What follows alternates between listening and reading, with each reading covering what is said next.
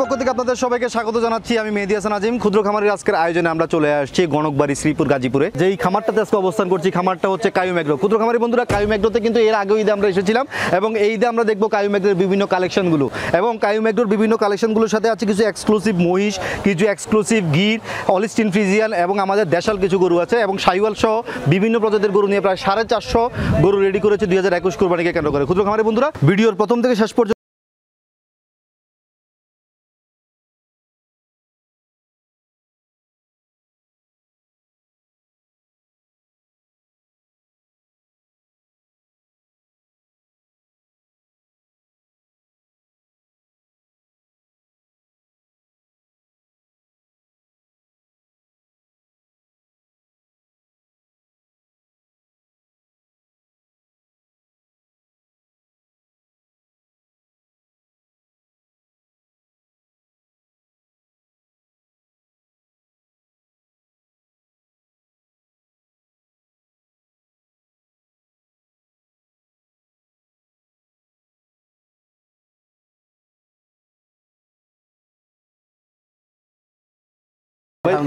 চলে আসলাম আবার আপনার খামারে। আপনার এই বছরের আয়োজনগুলো দেখতে। অবশ্যই অবশ্যই দা ওয়েলকাম অবশ্যই ধন্যবাদ। কাইম ভাই আপনার খামারে যখনই আমি আসি এর আগেও যখন আসছি আমার আপনার খামারের সবচেয়ে যে জিনিসটা বেশি ভালো লাগে সেটা হচ্ছে আপনার এত বড় খামার এত গরু লালন পালন করেন কিন্তু আপনার সেটা আমি কখনো গোবর দেখি নাই। মানে আমার এই খামারের বৈশিষ্ট্য এটা। সবাই একটাই বলে যে আপনার খামার পয় পরিষ্কার। আর ওদেরকে একটু ভালোভাবে রাখলে ওরা একটু মনে হয় এটা একটা সেবা, আমি মনে করি।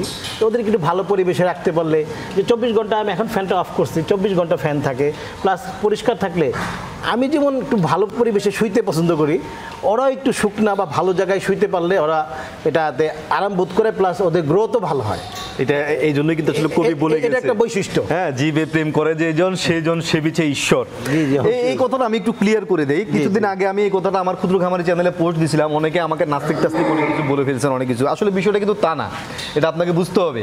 জীবে প্রেম করে যে জন সেজন সেবিছে ঈশ্বর। এই কথাটা মানেটা হচ্ছে এটাই।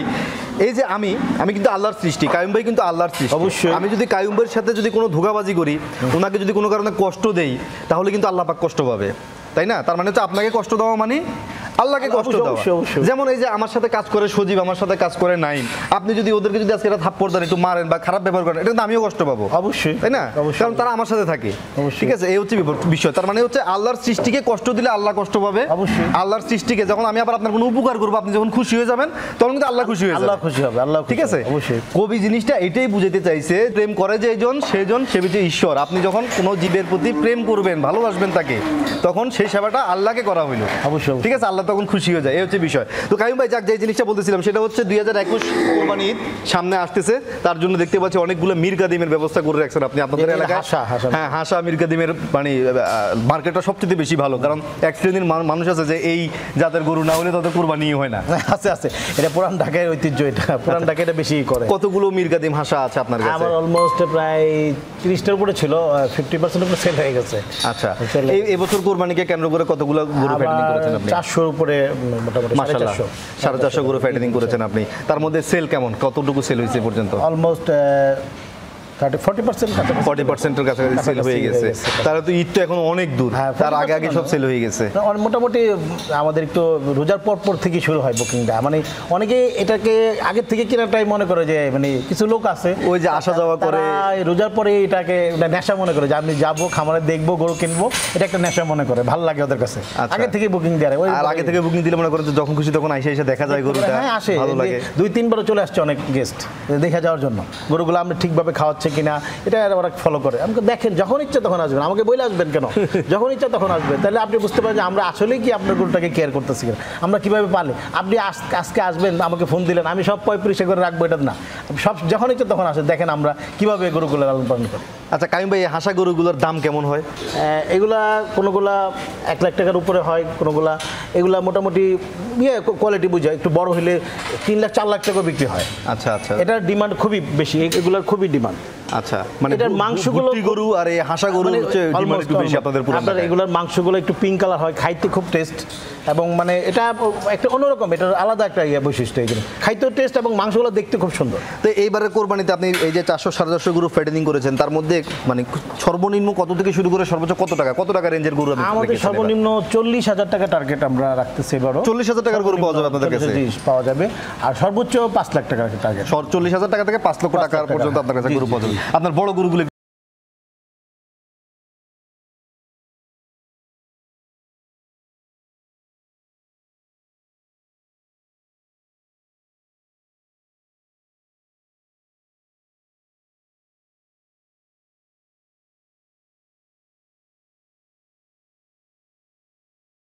বড় বড় গরুগুলো ফ্যাটেনিং করেছে সেগুলো হচ্ছে এগুলা। জি সব লাল লাল কালার লাল আছে মিক্স আছে। কুরবানির জন্য সম্ভবত সবচেয়ে বেশি পছন্দের কালারই মানুষের লাল। লালটা আর আপনাদের এরিয়ার মানুষের হচ্ছে সাদা যে মির্গা দিন জি জি। আচ্ছা তাই না? লালটা বেশি পছন্দ করে এলাকায় অনেকে। লালটা বেশি পছন্দ করে। অলমোস্ট সবাই বেশিরভাগই এইটি পার্সেন্ট লোক লালটা চায়। আবার দেখতে পাচ্ছি কিছু অস্টাল কালেকশন আছে আপনার বিশাল বিশাল। জি, জি, জি। এগুলা লাইভ ওয়েট কেমন আছে? এগুলা আটশোশো প্লাস আছে। 800 plus আছে। জি জি। মাশাআল্লাহ। মাত্র দুই দাঁত। এগুলা সবগুলোই দুই দাঁত। প্রায় এগুলোই দুই দাঁত। তাহলে তো এগুলা আরও অনেক বড় হবে। হ্যাঁ এখানে কয়েকটা ঘরের বাচ্চা আছে আমার। ওইটা আমার ঘরের বাচ্চা। এই যে বড় অস্টালটা বড়টা হ্যাঁ এটা ওই আটশোশো ওইটা আটশোশো প্লাস আচ্ছা আচ্ছা বিশাল বিশাল গরু। ও মাই গড কত বড় বড় চুট। এগুলা কি গির গির না? ঘির, হ্যাঁ, হ্যাঁ, বিশাল বড় বড় চুট। চুট একবারে কাত হয়ে পড়ে আছে। জি, জি, জি। একটু আসেন কাছে যাই। অবশ্যই। কাহিম ভাই গির তো এই পর্যন্ত জীবনে আমি বহুত দেখছি। জি, জি। হ্যাঁ বাট এই গিরগুলো এত এক্সক্লুসিভ গির তো আমি দেখিনি এগুলো তো মানে ব্রাহ্মা বলে চালাই দেওয়া যাবে। হ্যাঁ হ্যাঁ, নিঃসন্দেহ একবারে আমেরিকান ব্রাহ্মা বললে অসম্ভব এই যে মাথার শেপ একবার সম্পূর্ণ গোল একটা মাথা। অবশ্যই, হ্যাঁ। চুটটা এত বড় চুট আমি খুব কম দেখছি। বিশাল বিশাল চুট পাহাড়ের মতো। অবশ্যই অবশ্যই। এগুলো লাইভ ওয়েট কেমন আছে? এই আটশোশো প্লাস করে আছে। আটশো প্লাস করে আছে। এগুলো কোন কোন অঞ্চল থেকে সংগ্রহ করা আপনার? আমার এগুলা এই সিটি হাটের দিক থেকে নেওয়া। রাজশাহী সিটি হাট থেকে নেওয়া। এগুলো তো মনে হয় কেনা অনেক দাম পড়ছে হ্যাঁ হ্যাঁ তা তো অবশ্যই। তাই না? এগুলোর এখন বর্তমান দাম কেমন আছে? আমার টার্গেট জোড়া দশ লাখ হলে ছাড়বো। জোড়া দশ লাখ মানে পাঁচ লাখ টাকা করে? জি জি জি আচ্ছা তারপরে এই পাশে দেখতে পাচ্ছি যেমন এই যে এই- টাইপের গরুগুলো দেখি বেশি দেখা যায় আমার আমার এগুলো হচ্ছে হরিয়ানা টাইপ না? হ্যাঁ ওটা নেপাল বলদ বলি যেটা আমরা নেপালি বলদ। হ্যাঁ নেপাল বলদ।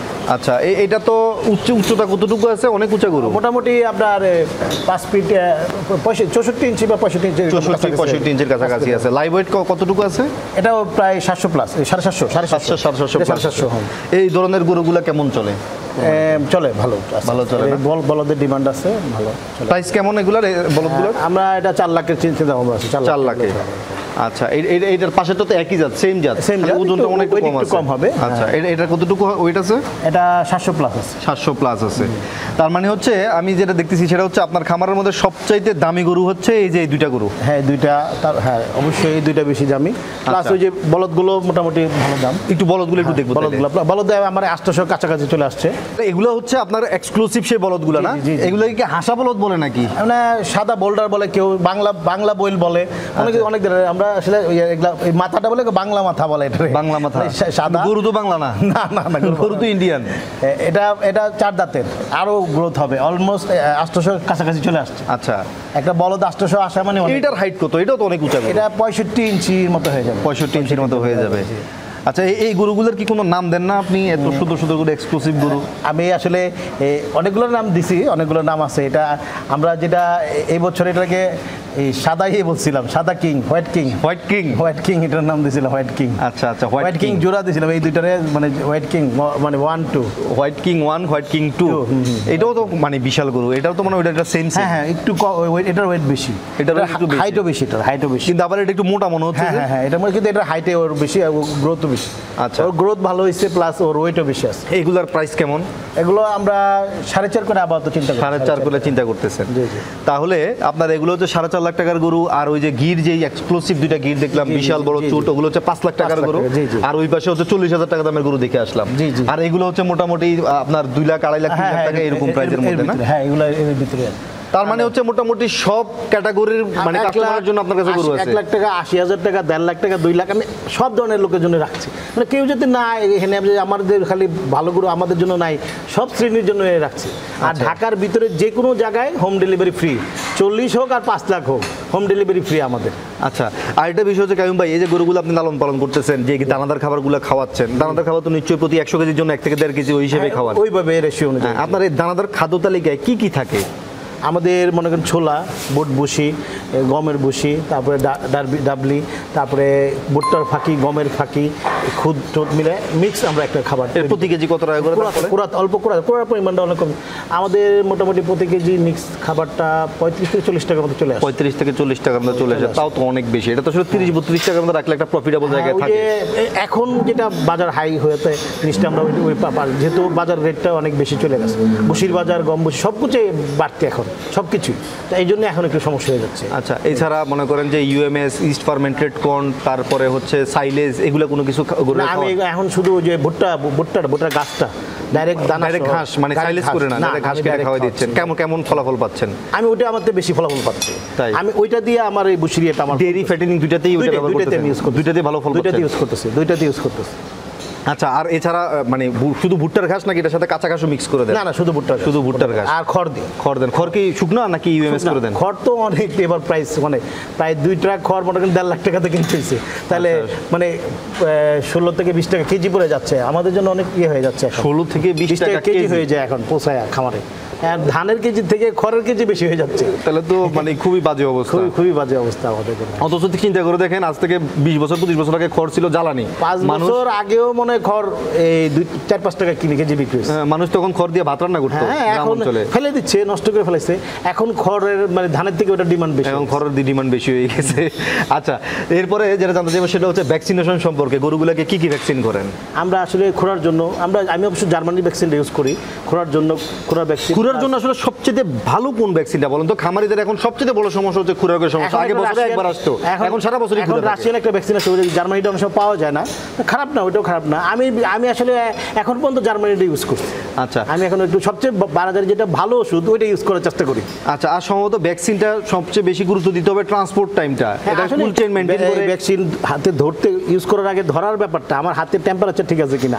প্লাস ওরা যে ইউজ করতেছে ওটা কোথা থেকে নিয়ে আসছি ফ্রিজিং ঠিক আছে কিনা।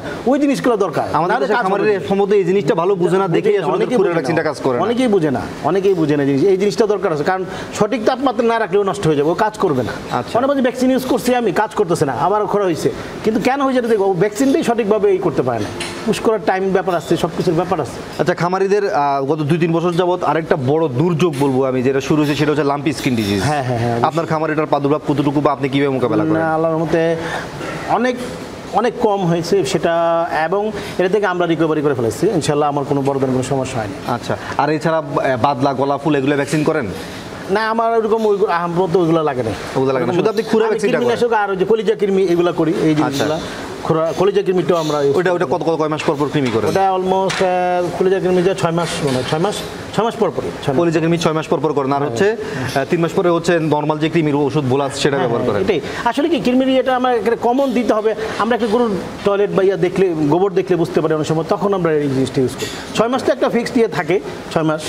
আচ্ছা। ছয় মাসের ইয়ে থাকে কিন্তু আমরা ওই জিনিসটা গোবর দেখে চিন্তা ভাবনা করে আবার ইয়ে করি যে ওরা কৃমি দেওয়া যাবে কিনা ও খাচ্ছে না ওর ইয়ে পরিস্থিতিটা বুঝে আমরা কাজ করি। গত বছর কোরবানি ঈদে কিন্তু আমাদের ঢাকা শহরের খামারিরা বেশ প্রফিটেবল হয়েছে কিন্তু প্রান্তিক খামারি যারা আছে হ্যাঁ, হ্যাঁ। এটা খুবই ক্ষতিগ্রস্ত হয়েছে এটা ঢাকা থেকে গরু ঢুকাতে পারে নাই। ঠিক আছে এটা কারণটা কি ছিল?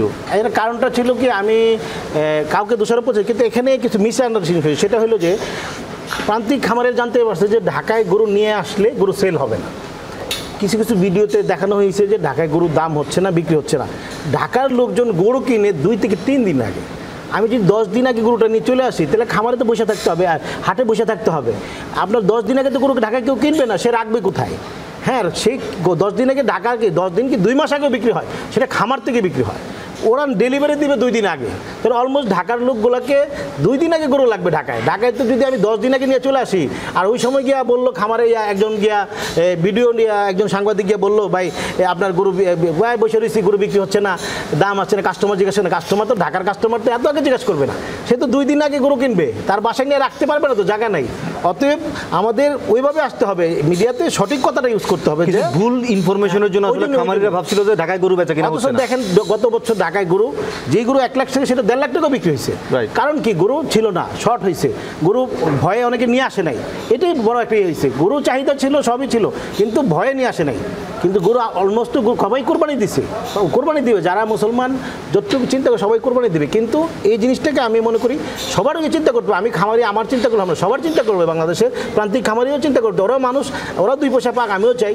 সেই জন্যই সঠিক তথ্য দিত ঢাকায় গরু নিয়ে আসলে বিক্রি হবে না। এই কথাটা বলা ঠিক না। মিডিয়াতে এই কথাটা বিক্রি হবে কখন? ঢাকার গরু কিনবে দুই দিন আগে। এটা বুঝতে হবে। দুই থেকে তিন দিন আগে। আমার গরুটা তাহলে এত আগে নিয়ে আসার দরকার নেই। আচ্ছা এই বছর কোরবানিকে নিয়ে কি ধারণা করছেন আপনি? আমার মনে হয় ভালো করে সেল হবে। মানুষ পরিস্থিতি যাই হোক কোরবানি দিবে ইনশাল্লাহ। আর এটাকে আল্লাহর মধ্যে অবশ্যই ইনশাল্লাহ রিকভার হবে। এই পরিস্থিতি এবং থাকবে না রিকভার হবে। আশা করা যায় ভালোই হবে ইনশাল্লাহ। আচ্ছা প্রান্তিক খামারিরা আসলে আপনাদের মতো বড় বড় খামারিদের কাছ থেকে অনেক সহযোগিতা চায়। আপনার কাছ থেকে একটা সহযোগিতা চাচ্ছি প্রান্তিক খামারিদের জন্য। সেটা হচ্ছে এই কুরবানিকে কেন্দ্র করে যেহেতু গত কুরবানি তারা ঢাকা গেছে জি। এই কুরবানিকে কেন্দ্র করে আপনি কিছু পরামর্শ যদি প্রান্তিক খামারিদেরকে দেন যে গরু বেচা কেনার জন্য তারা আসলে কীভাবে পদক্ষেপ গ্রহণ করবে তাহলে ওদের জন্য খুব ভালো হয়। আমি মনে করি ফার্স্টে একটা কথা বলব।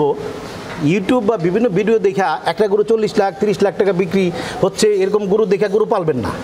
যে এরকম আমিও বিক্রি করব আশা করে একজন বিক্রি করতে পারলে যে আপনিও পারবেন এটা ভুল। কারণ এই কাজটা যে নামতেছে তার একটা বড় জন্য ধরা খাচ্ছে। গরুটার দাম পাঁচ থেকে ছয় লাখ টাকা হইতে পারে। সে চিন্তা করছে একজন আমেরিকাতে একটা গরু নিয়ে আসছে সে পঞ্চাশ লাখ বিশ লাখ বেচছে আমারটা আমি পনেরো লাখ বিশ লাখ বিক্রি করব। সেটার সাথে এটা তুলনা করলে হবে না। আপনার গরু যখন আমি মনে করি অনেকেই এটা ভুল করে। গ্রামে দশ লাখ আট লাখ টাকা বলে সাত লাখ টাকা বলে পাঁচ লাখ টাকা বলে সেটা নিয়ে আসতে কি ঢাকায় আরও বেশি লাভ করব। সে ঢাকায় এসে গরুটা মারা হয়ে যাচ্ছে এরকম অনেকগুলো গরু মারা মারা। যাওয়ার গরমে, হিটে, মারা যাচ্ছে। গরমে হিটে আমরা যে পরিবেশে গরুটা উনি পালতাছে গ্রামে ঢাকায় এসে তো ওই পরিবেশে পাচ্ছে না প্রচণ্ড গরম। রোদ্রে তার গরুটা মারা হচ্ছে তাহলে কি হচ্ছে? আপনি গ্রামে বিক্রি করে দেন। যদি আপনি লাভ হয় অতি লোভে পাপি তাঁতি নষ্ট পথে আছে। আপনি যেহেতু পাচ্ছেন লাভ হচ্ছে, তা আপনি গ্রামে বিক্রি করে দেন। আপনার পাঁচ লাখ ছ লাখ টাকা, আপনার যদি তিন লাখ, চার লাখ টাকা খরচ হয়, এক লাখ টাকা লাভ হচ্ছে, পঞ্চাশ হাজার টাকা লাভ হচ্ছে, ওটা তো আপনার লাভ। তা আপনি লাভটা নিয়ে নেন, আমি মনে করি।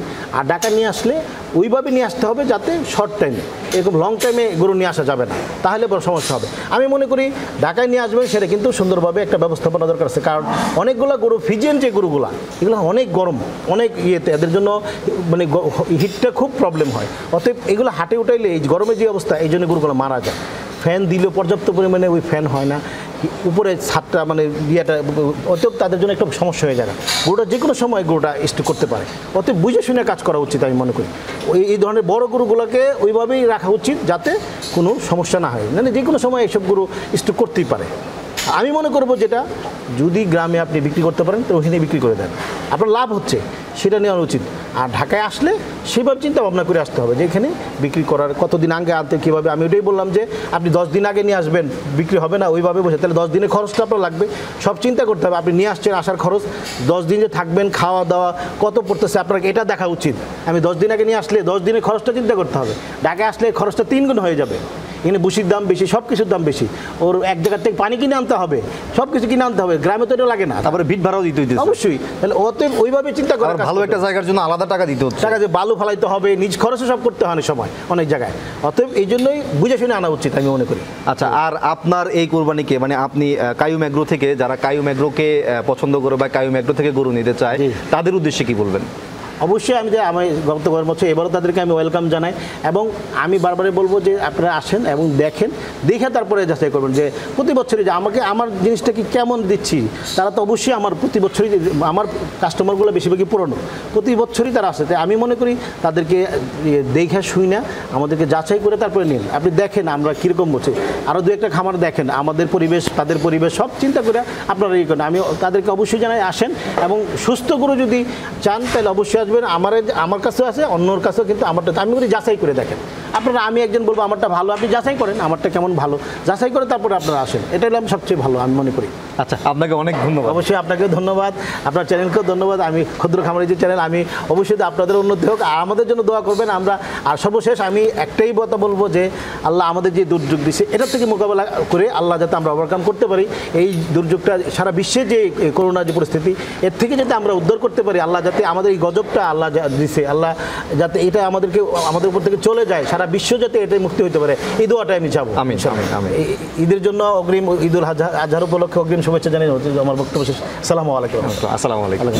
ক্ষুদ্র খামারি দর্শক এতক্ষণ কথা বললাম কায়ুম এগ্রোর সত্ত্বাধিকারী কায়ুম ভাইয়ের সাথে। কায়ুম ভাইয়ের কাছ থেকে আমরা অনেকগুলো তথ্য জেনে নিলাম। যেটা হচ্ছে গতবারের যে ভয়ঙ্কর সিচুয়েশন হয়েছিল গরু বাজারে যেটা আমাদের সবার জানা যে বাজারের মধ্যে গরু ছিল না, এক লক্ষ টাকার গরু, দেড় লক্ষ টাকা, এক লক্ষ আশি হাজার টাকা পর্যন্ত বিক্রি হয়েছে।